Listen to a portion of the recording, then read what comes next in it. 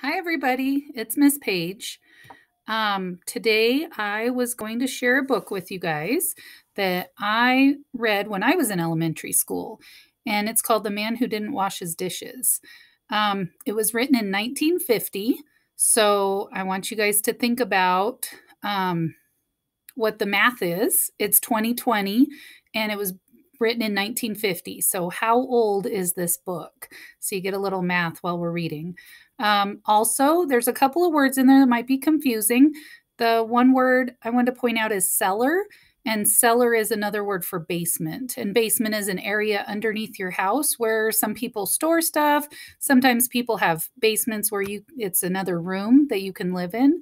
Um, and then the other word is closet. So they'll use closet a couple times. Obviously, you guys know that closet is uh, where you store your clothes um, or shoes or whatever you might, or you might have a closet with towels in it.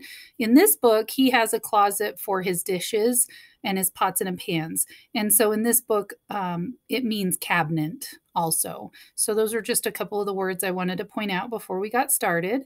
And um, let's see we'll get started then.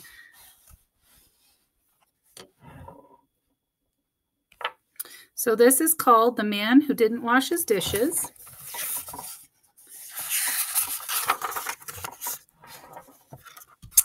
And the author is Phyllis Krasilovsky, and it is illustrated by Barbara Cooney. And an illustrator is a person who draws the pictures. So the pictures were drawn by Barbara Cooney.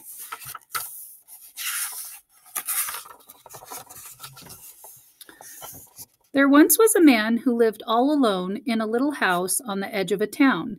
He didn't have any wife or children, so he always cooked his own supper, cleaned the house by himself, and made his own bed.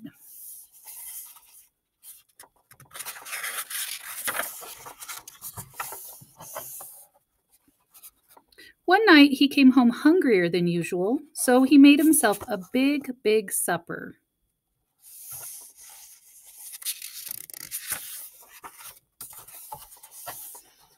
It was a very good supper. He liked to cook and could make good things to eat. But there was so much of it that he grew very, very tired by the time he had finished. He just sat back in his chair as full as he could be and decided he'd leave the dishes till the next night, and then he would wash them all at once.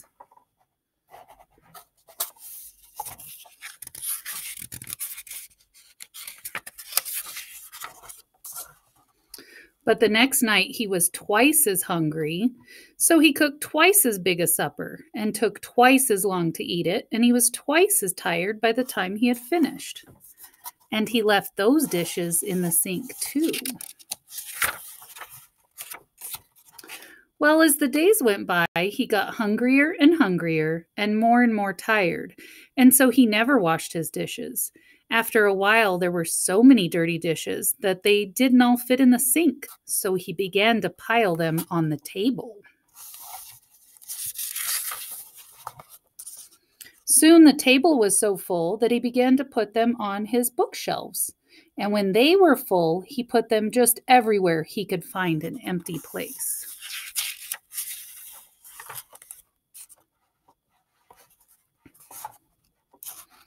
Soon he had them all piled on the floor, too. In fact, the floor got to be so full of dishes that he had a hard time getting into his house at night. They were even piled against the door. Then one night he looked in his closet and found there wasn't one clean dish left. He was hungry enough to eat out of anything, so he ate out of the soap dish from the bathroom. It was too dirty for him to use again the next night, so he used one of his ashtrays. Pretty soon he had used up all his ashtrays. Then he ate out of some clean flower pots he found down the cellar. When they were all used up, he ate out of his candy dishes and drank water from vases.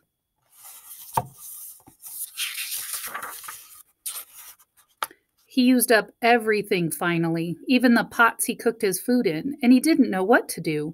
He was so unhappy. His whole house was full of dirty dishes, and dirty flower pots, and dirty ashtrays, and dirty candy dishes.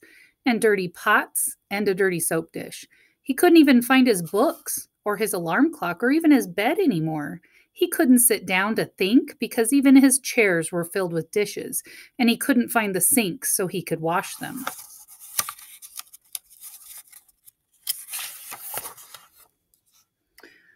But then, all of a sudden, it began to rain, and the man got an idea.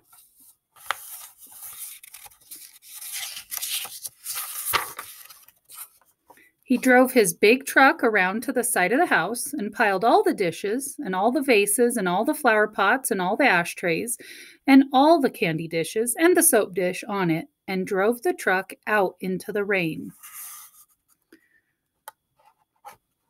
The rain fell on everything, and soon they were clean again. The rain had washed them.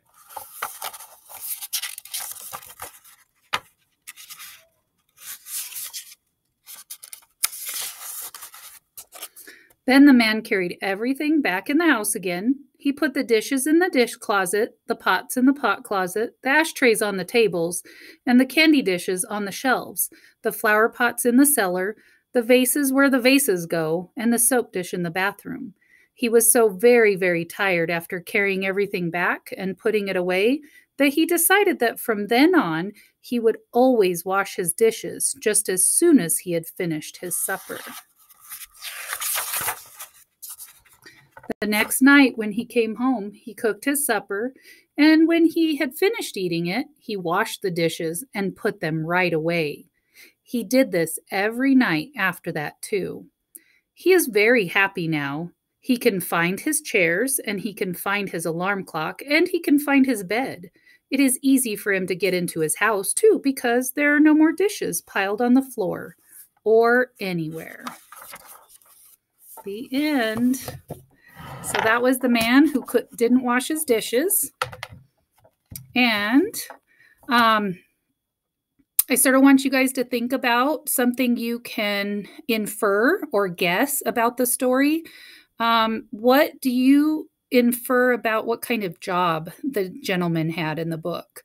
Um, sort of think about from details in the story what you can guess his job was. Um, also, I would like you guys to ask a parent or look up the word procrastination because that's what this book is about. Um, and it's a good lesson in all of our lives. So I hope you enjoyed the story. I miss you guys all very much. And I hope I'll read another story next week. Um, the story I have in mind next week is similar to this one. Um, so there'll be some similarities and differences. So maybe we can talk about those. Um, we'll talk to you guys later. Bye.